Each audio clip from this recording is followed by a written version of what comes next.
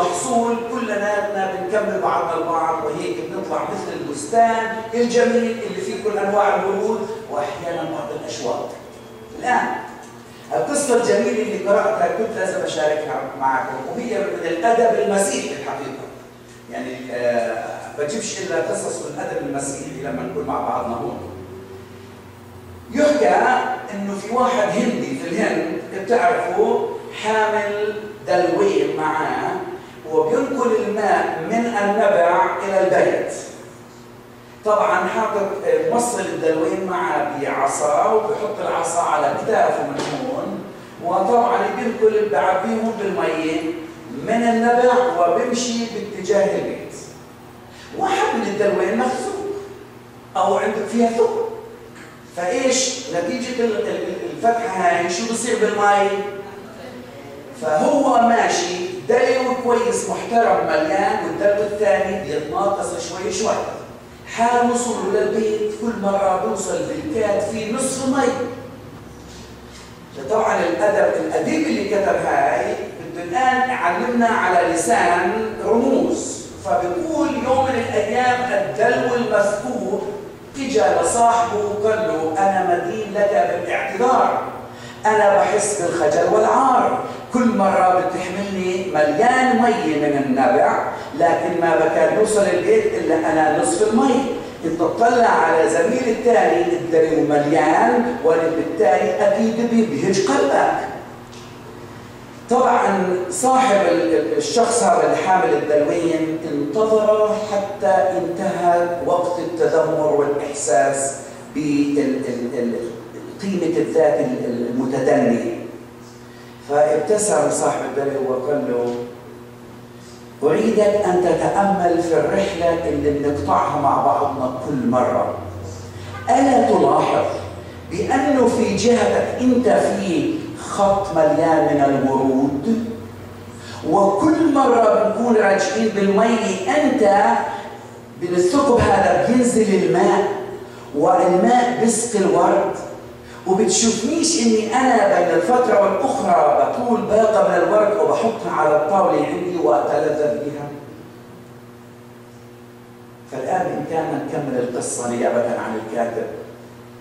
إيانا ونطلع على النقص اللي عندنا وبسبب هذا النقص نهجر قيمتنا الحقيقيه. فالكاتب بيقول الله بمحبته بيستخدمنا ويستخدم عيوبنا إنه نكون بركة للآخرين ولذلك خلينا نبدأ بالصلاة ونقول يا رب وين في عوار عندنا وعندنا نقص عندنا أنت بمحبتك بتكمله هذه القصة لنصلي.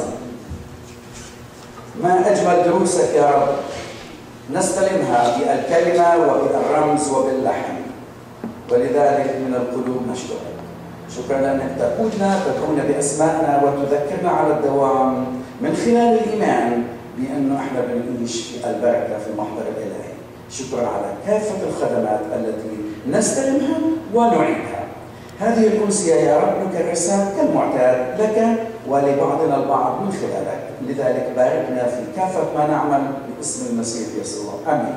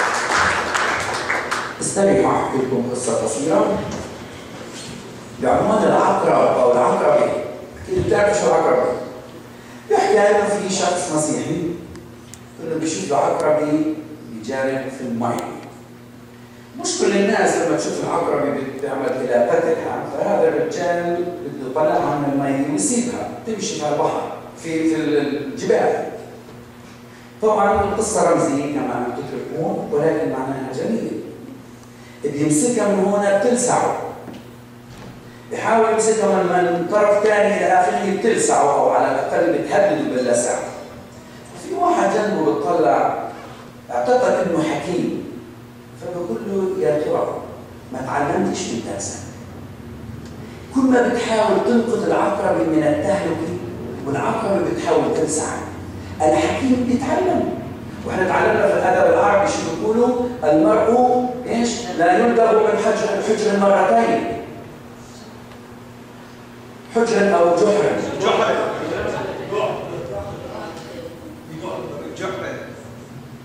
طيب تعرف شو جواب الشخص هذا؟ الجواب المسيحي اللي إحنا سواء في في في الترميم في حديثنا اليومي نتعلم منه. الجواب المسيحي قال له يا أخي بدي اغير طبعي؟ هي طبعها اتسع وأنا طبعي بحاول أساعد. فإذا حقيقة الإنسان المسيحي المؤمن يجبل الإيمان وتصبح شخصيته هي لا يخاف. حدا بينسى عنان أكثر شيء ممكن يعمل انه في الأخير يتجنب النزع بطريقة حكمه ولكن لن ييأس في انه يظل يظهر بطبيعته المسيحيه لعل في ذلك درس لنا يا مؤتي الأغاني.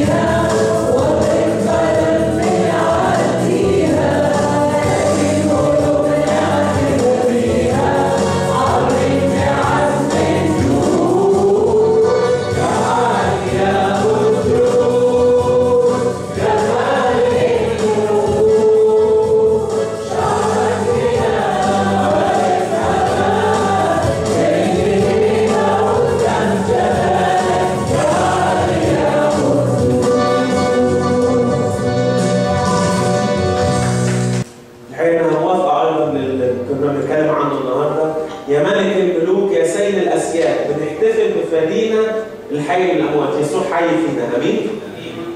آمين.